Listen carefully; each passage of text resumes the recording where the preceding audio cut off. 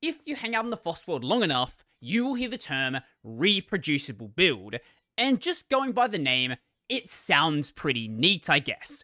But I can't be the only one who hears this term relatively often and just never looked into what it's all about and why it really matters. And recently, I came across this blog post from Morten Linderud NixOS is not reproducible.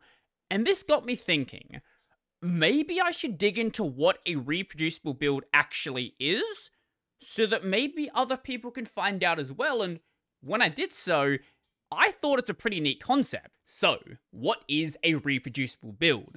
Well, this is defined by reproducible builds. A build is reproducible if given the same source code, build environment, and build instructions, any party can recreate bit by bit identical copies of all specified artifacts, this being things like binaries, documentation, so on and so forth.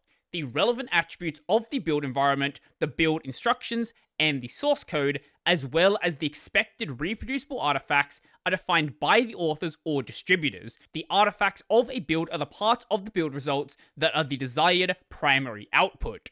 Basically, if I have source code and I compile the source code, I will get a binary. Now, if you have the source code and you compile it, you will also get a binary. But those binaries may not necessarily be the exact same binary, they might have some slightly different data. In the case of a reproducible build, that is not what happens. If you build the application in the exact same way, you get the exact same result. Now, in Morten's post, he distinguishes this from two other concepts hermetic builds and verifiable builds.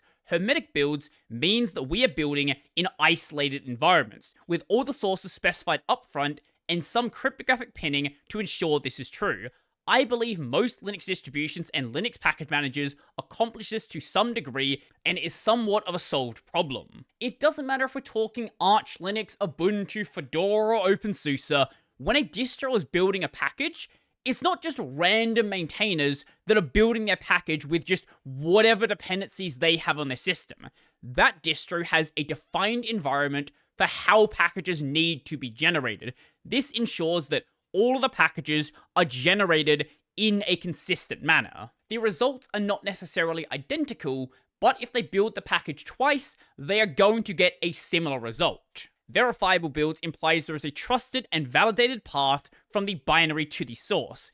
This doesn't mean the build is reproducible, but it means that we should know what the build contains to a high degree of certainty. This is what I believe a lot of the recent years of supply chain security focus has given us with build provenance, attestation, and a myriad of SBOM standards, that being software bill of materials. So if you're building a package in this way, you know okay, this is who is involved in the project. This is the work that they have done. This is exactly where this code lies in the codebase. Okay, this is how the code got to me. I know the developers have not injected code in the thing that they've given me because I have verified that it is identical to what is in the source repo. Basically, everything in the build chain is clearly laid out, but the result may not be reproducible. Now, you might rightfully think, wait, aren't builds already reproducible? If I have the source code of my system and then I compile the source code, I will get a binary.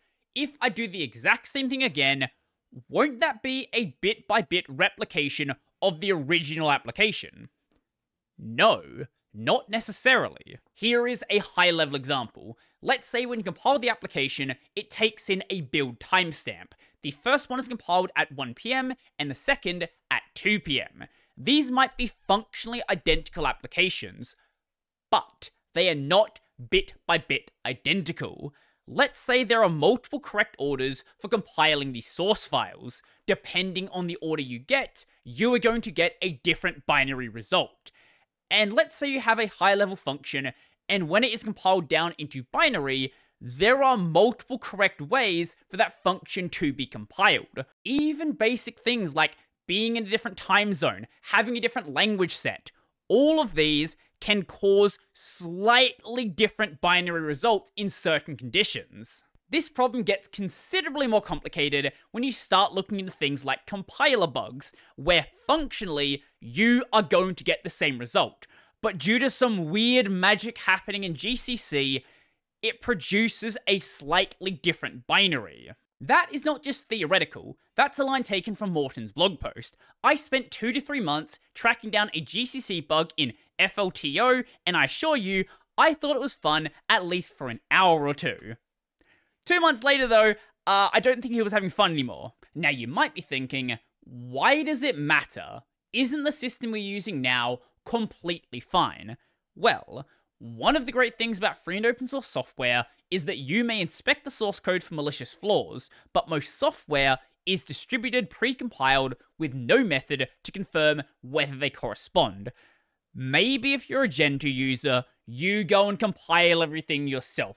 That's great for you, or if you're an LFS user. And if you're, say, a KDE or GNOME developer, you probably compile a lot of the KDE or GNOME stack on your system. But what about the rest of the applications?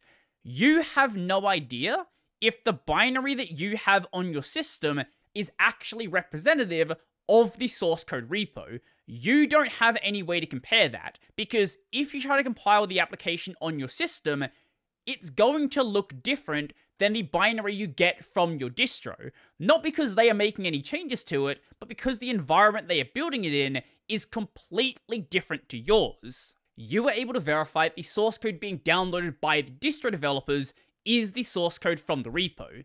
You were able to verify that when you download a package, it is the package being distributed by your distro thanks to a cryptographic signature. But if you look at the binary in that package, you are not able to verify that the binary that you were given is a binary generated from that source code or if something was injected along the way. You have no way of generating a binary with the exact same build environment that matches that binary result. This incentivizes attacks on developers who release software not only via traditional exploitation, but also in the forms of political influence, blackmail, or even threats of violence. This is particularly a concern for developers collaborating on privacy or security software. Attacking these typically result in compromising particularly politically sensitive targets such as dissidents, journalists, and whistleblowers, as well as anyone wishing to communicate securely under a repressive regime. Whilst individual developers are a natural target, it additionally encourages attacks on build infrastructure as a successful attack would provide access to a large number of downstream computer systems, cough cough xz by modifying the generated binaries here instead of modifying the upstream source code. Illicit changes are essentially invisible to its original authors and users alike. The motivation behind the reproducible builds project is therefore to allow verification that no vulnerabilities or backdoors have been introduced during this compilation process by promising identical results are always generated from a given source. This allows multiple third parties to come to a consensus on a correct result, highlighting any deviations as suspect and worthy of scrutiny. But how do we do this? First, the build system has to be made entirely deterministic. Transforming a given source must always create the same result. For example, the current date and time must not be recorded, and the output always has to be written in the same order. Second, the set of tools used to perform the build, and more generally the build environment, should either be recorded or predefined. Basically, a list of everything that needs to be set up to have an identical build environment. Third, users should be given a way to recreate a close enough build environment, perform the build process, and validate that the output matches the original build. Close enough because maybe there are certain parts of the build environment that are not actually relevant if for whatever reason the application doesn't need to know your system language, for example, that might not have any effect on the outputted binary. Now, unlike some of these development protocols about securing the open source supply chain, this isn't something that is coming from on high. This is something coming directly from the FOSS community itself. Who is involved? Let's go to projects, and you'll see some pretty big names that you probably recognize. Alpine, Arch Linux, uh, Debian, Coreboot, F-Droid, FreeBSD, Fedora, GNU Guix, and a bunch of others. Now, different projects are at different levels of reproducibility. Distros like Debian and Arch Linux are doing incredibly well. Across all of the Arch repos, Arch is 80.5% reproducible. Debian, it very much depends on what the architecture is. On AMD 64, which is x86 64-bit, it is 96.1 reproducible. But if you go down a bit to the experimental 32-bit stuff, you're at 63.9% reproducible, or ARMHF 58.3. Some projects like Trisquel are not in the greatest of states, right now it says 35%, but they are making progress. And others like Alpine and Fedora, this says Fedora 23, may have been doing stuff in the past, but right now, you know, aren't making a ton of progress there. Now, in the Fedora case, as of last year, there was some discussion about restarting up the reproducible initiative. I don't really know if this has gone anywhere. There is currently um seven comments on this, but maybe it's going to happen. Basically, this was all a long way to say reproducible builds are a work in progress. There are things that are reproducible, but a full distro at the scale of something like Arch Linux is not there yet. It might get there at some point, and there is a lot of effort to make it happen.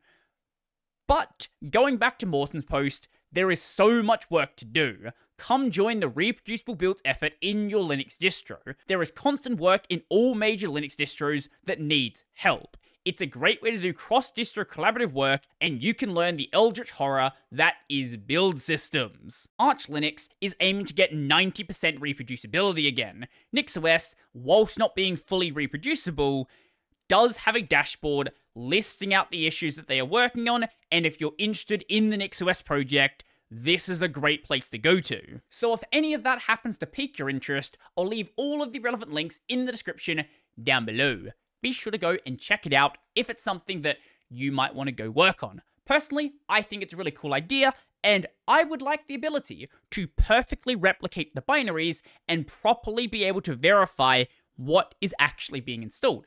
But let me know your thoughts in the description, description, comments, in the comments down below. So, if you liked the video, go like the video. And if you really liked the video and you want to become one of these amazing people over here. Check out the Patreon, Scrubs, Liberapay link in the description down below. That's going to be it for me, and reproduce this.